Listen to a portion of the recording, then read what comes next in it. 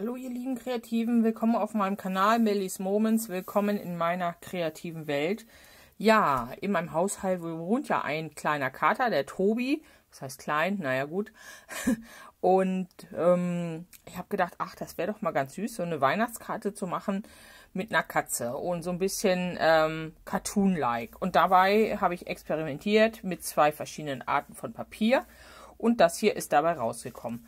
Dieses ist ein ganz normales Aquarellpapier ähm, und ich habe da noch ein bisschen mit Strukturpaste gearbeitet. Die hatte ich hier gerade so stehen, habe gedacht, auch das wäre ja auch nett, weil das ja so ein bisschen einen 3D-Effekt gibt und ähm, ja, ähm, es ist nicht so geworden, wie ich es mir vorgestellt habe, aber ich finde es trotzdem niedlich. Ne? So, dieses hier ist ein handgeschöpftes Papier, das ist, äh, reagiert ganz anders. Hier sieht man gleich, die Farben sind noch ein bisschen fluffiger verlaufen und ähm, hat, es ist halt nur so eine Silhouette. Äh, hier habe ich noch mal ein bisschen, bei der noch mal ein bisschen die Kanten nachgearbeitet. Und ja, ich finde, sie haben beide ihren Charme und ähm, ja, da wollte ich das mit euch heute mal noch mal ausprobieren. Okay, ich lege die jetzt mal zur Seite. So, dann haben wir hier noch mal ein Stückchen Aquarellpapier. Ähm, Mache ich mal ein bisschen größer. Okay, gut. Ganz zart mit Bleistift vorskizzieren. Ich fange an mit dem Puschel, mit dem Puschel von der Mütze, weil der ist im Vordergrund und alles andere kann ich dann drumrum malen. Also, ich male mir hier einen ganz kleinen fluffeligen Puschel. Dann male ich hier den Rest von der Mütze und dann geht die Mütze hier über auf dem Kopf. Der Puschel kann sogar noch ein bisschen größer werden.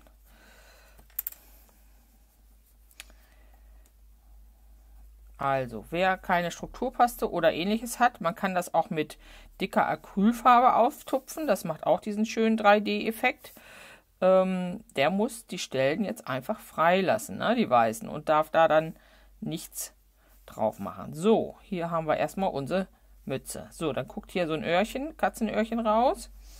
Und das geht hier ineinander über, weil ich mache ja, wie gesagt, ähm, das eher so Cartoon-like und geht dann über in einen dicken Körper. Dieses Öhrchen hatte ich mir gedacht, das ist so ein bisschen von dieser Mütze so ein bisschen zur Seite geklappt. Ihr kennt das ja manchmal bei Katzen, die können das ja ganz gut. Öhrchen zur Seite geklappt. Und auch hier der dicke Körper. Mhm, hier, das ist noch nicht so ganz so ganz, wie ich mir das vorstelle. Also der dicke Puschel. Ja. Öhrchen. Mütze. Okay, und da müssen wir noch zwei große Augen malen.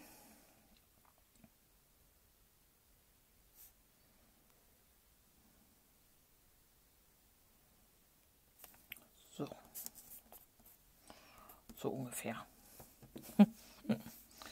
so ungefähr, genau. So, okay. Und hier muss da noch Platz bleiben für einen kleinen Schwanz, ne? Schon fast ein bisschen groß geworden. Naja. Aber dadurch, dass ich das so auslaufend machen will, also mit so Fell, was nach außen ein bisschen wegspratzt, ist das ähm, relativ egal. Die Form ist ja, es ist keine keine reelle Katze, soll eine Cartoon-Katze sein. So, dann geht das weiter. Ich mache alles nass, außer die Mütze. Dafür gehe ich und die Augen. Aber ich mache ein bisschen mehr im Umfeld nass, weil ich gerne möchte, dass, das, dass die schwarze Farbe nach außen ein bisschen driftet. Ne? So, aus dem Grund fange ich jetzt erstmal an. Hier meine Katze von innen um die Augen herum. Die sollen frei bleiben. Die Mütze.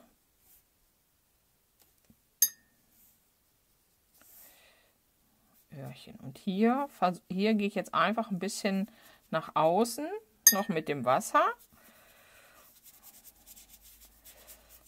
bis zur Kante der Karte. Wie gesagt, ich möchte, dass das Fell gleich ein bisschen nach außen läuft. So, auf der anderen Seite das gleiche. Den Schwanz malen wir später ein bisschen drüber. So, auch hier großzügig bis zur Karte, bis zur Kante. So. Gucken, habe ich alles getroffen? Okay, also. Gucken mal, ob ich euch das zeigen kann. Da ist die Nase überall, ne? Bis, und nur die Mütze bleibt frei. So, und dann schnappe ich mir jetzt einfach meine schwarze Farbe. Die Brust können wir auch ein bisschen freilassen, so wie bei der hier. Ne? Das heißt, da wird dann nicht gemalt. Also, ich gehe jetzt hier innen, bisschen versetzt an die Kante. Mit meinem Schwarz.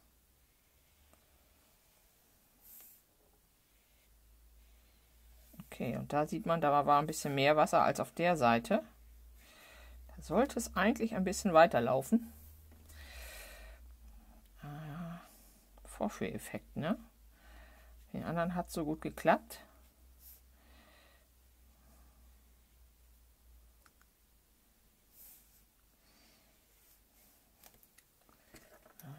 Bisschen.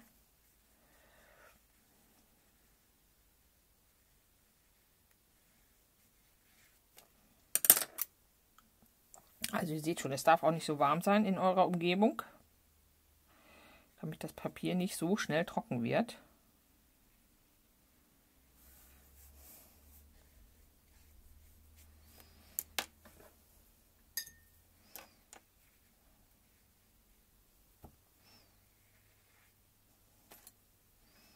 Das finde ich schon mal ganz charmant, das Öhrchen, muss ich sagen. so, hier läuft die Farbe noch so ein bisschen. Das finde ich auch ganz okay. Da kommt sowieso. Und das Öhrchen ist doch auch schon mal ganz super geworden. So, machen wir noch mal ein bisschen schwarze Farbe hinein. Und dann müssen wir jetzt auch hier den Rest.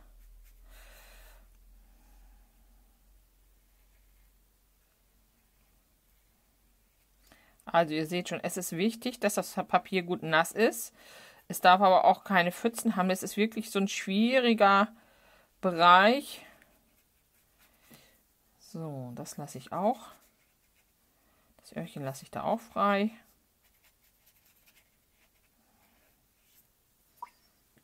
Und hier mache ich jetzt noch mal den Bauch. Da mache ich nur ein bisschen Wasser so drumherum, dass ich das da noch hinziehen kann.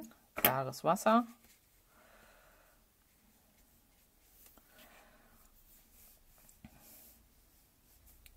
Sieht ja eher aus wie so eine Halloween-Spooky-Katze dann. Wenn man zu Halloween malen soll und nicht jetzt zu Weihnachten, ne?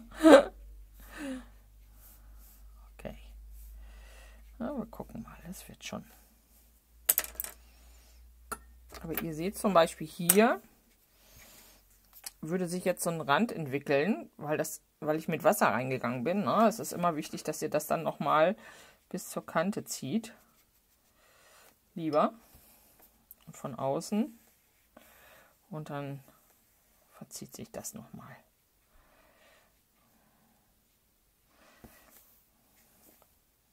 Also, ganz wichtig, es wird nie so, wie ihr euch das vorstellt. Na? Ihr dürft hier jetzt nicht mit einer ganz harten Erwartungshaltung rangehen an dieses Bild. So und so hat sie dann auszusehen nachher. Funktioniert nicht. Das ist diese Nass-in-Nass-Technik. Die läuft sowieso, wie sie will. So, ich versuche jetzt hier nochmal so ein bisschen eine Struktur anzudeuten, aber wahrscheinlich eher nicht. Wir lassen sie lieber als Fluffelkatze. Okay, dann würde ich sagen, erstmal das Ganze arbeiten lassen und trocknen. So ist es noch feucht. Ich habe mir noch mal überlegt, ich werde hier noch mal so ein bisschen raustupfen. Und auch das mit so einem äh, Tüchlein gibt uns hier so ein bisschen Struktur und Fell nur innen drin. Ja, so gefällt es mir ein bisschen besser. Ja, so ein bisschen hier Da, wo dann gleich die Schnute hingemalt wird. Na, so. So lasse ich es jetzt trocknen. So, sie ist fast trocken, ein wenig feucht, aber das kann uns nicht davon abhalten, schon mal äh, die Mütze zu malen. Okay, unten ein weißer Rand und ein weißer Puschel und der Rest der Mütze wird jetzt mal einfach schön, hier den Rand mache ich jetzt ein bisschen wuschelig. Na, wie gesagt, wer keine Strukturpaste hat, der muss ja das malen. Und ähm, hier gehen wir jetzt einfach erstmal nur mit roter Farbe rein. Ganz simpel.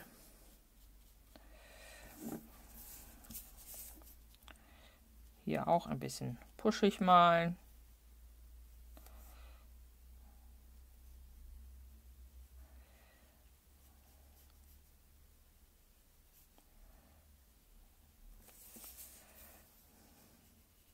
Okay. Diese Mütze hat hier einen Knick. Das schattieren wir gleich an, sobald es ein bisschen trocken ist, obwohl ich kann es auch jetzt schon mal versuchen mit ein bisschen dunkleren Rot. Mal gucken. Nee, wird glaube ich nichts. Nee, das machen wir dann, wenn es äh, trocken ist. Machen wir das lieber dann. So, schön sattes Rot rein. Okay. Dann geht es weiter. Mal einen etwas zarteren Pinsel. Ich werde die Augen später noch mit einem Feinliner umrahmen. Deshalb machen wir jetzt einfach nur Pupillen. Also. Ich mal die Augen jetzt komplett und setze dann gleich nochmal mit einem Acrylstift ein Highlight rein. Also, wir machen hier jetzt richtig schöne schwarze Pupillen. Deshalb ist es jetzt wirklich wichtig, dass euer Bild trocken ist, sonst würde das jetzt wieder in das Fell hineinlaufen. Ne? Und ähm, so große Kulleraugen. Auch das ist eher Cartoon-like, ne? Unsere Katzen haben alle keine Kulleraugen, obwohl, ja, aber dann groß, aber ähm, die haben ja eher diese schlitzigen Augen.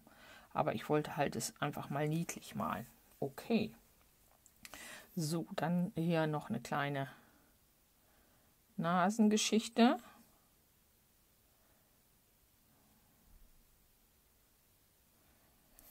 Und ja, je nachdem, freundlich, grimmig, sonst wie, könnt ihr alles äh, im Ausdruck machen mit der Schnute und auch mit den Augen. Ist auch kein Problem. So, dann fehlt uns jetzt noch das Schwänzelchen. Okay, und zwar mache ich hier jetzt wieder, ich möchte den auch ein bisschen, ich mache jetzt mal eine Schwanzgrundform. So, einen großen puschigen Schwanz mit Wasser und setze jetzt in die, in die Mitte wieder die schwarze Farbe, damit die dann sich nach außen wieder so schön verziehen kann. Ihr könntet jetzt auch theoretisch einen Streifenschwanz malen. So. Ja, auch der soll jetzt so ein bisschen sich verziehen. Ein bisschen fluffig werden. So, und dann machen wir einfach noch mal zwei Fötchen unten dran. Einmal, zweimal. Okay.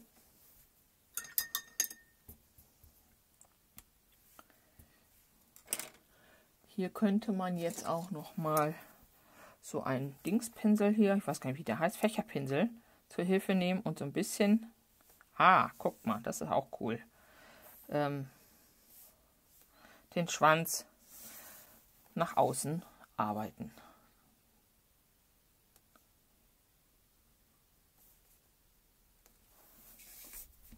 Das ist doch witzig. Ja, da muss man halt aufpassen, dass man es nicht zu doll macht. Ah, das ist doch Guckt mal, das habe ich bei den anderen Bild, beiden Bildern nicht gemacht, aber ich finde es ganz witzig. Hm.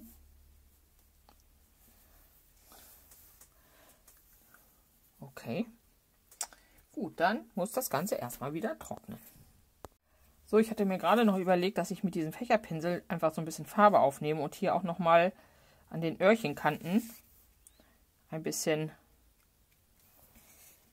das noch verstärke, diesen Effekt, ne, diesen Effekt der Haare. Ja. Okay, jetzt aber trocknen lassen.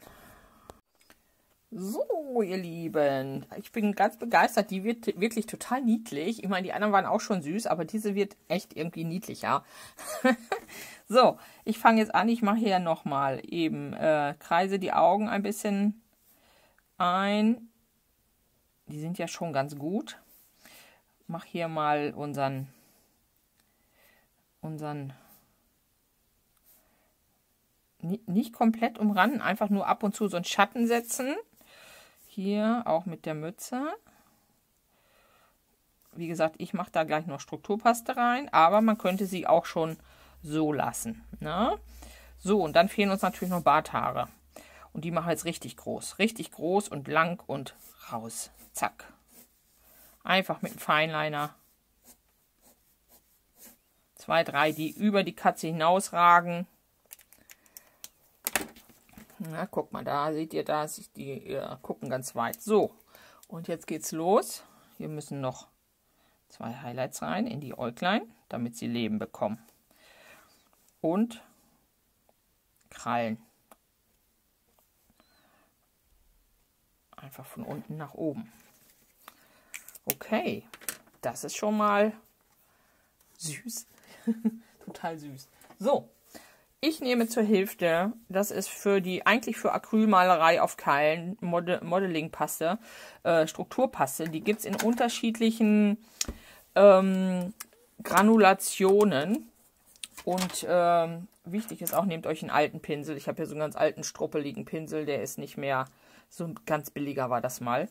So, und ich schnapp mir jetzt hier einfach meine Strukturpaste, gehe hier so ein bisschen rein, nehme mir ein wenig und ähm, und verteile das jetzt so ein bisschen einfach auf dieser Mütze. Und das äh, gibt nochmal so einen schönen 3D-Effekt. Das Ganze könnt ihr auch einfach mit Acrylfarbe machen, mit einem Borstenpinsel. Ne? Draufditschen, hochziehen. Auch dann kriegt man ein bisschen diese Struktur. Hier ist es jetzt natürlich etwas intensiver.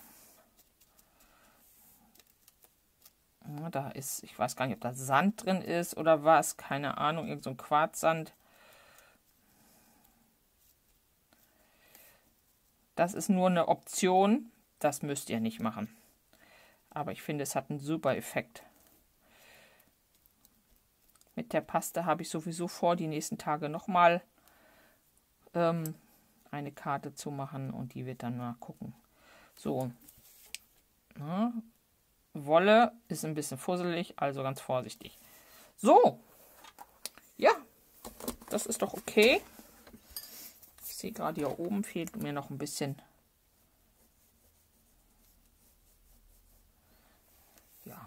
Okay. Ich lasse das jetzt hier mit dem roten Schatten. Ich finde es so okay für eine Cartoon-Karte. Ja, die ist doch süß geworden. Ich hoffe, es hat euch Spaß gemacht. Hier sind nochmal die anderen. Die ist jetzt nicht so puschelig. Es macht einen Wahnsinnsunterschied, was ihr für ein Papier nehmt. Ne, probiert es mit verschiedenen Papieren aus. Manche haben ja zwei, drei Sorten zu Hause. Ähm, ihr seht, die wären alle ganz anders, aber die letzte ist wirklich Zucker geworden. Zuckersüß. Ja, ich hoffe, es hat euch gefallen. Wenn ja, lasst mir doch gerne einen Daumen da, abonniert meinen Kanal und äh, wir sehen uns dann hoffentlich im nächsten Video wieder. Bis dahin, macht es gut, eure Melanie.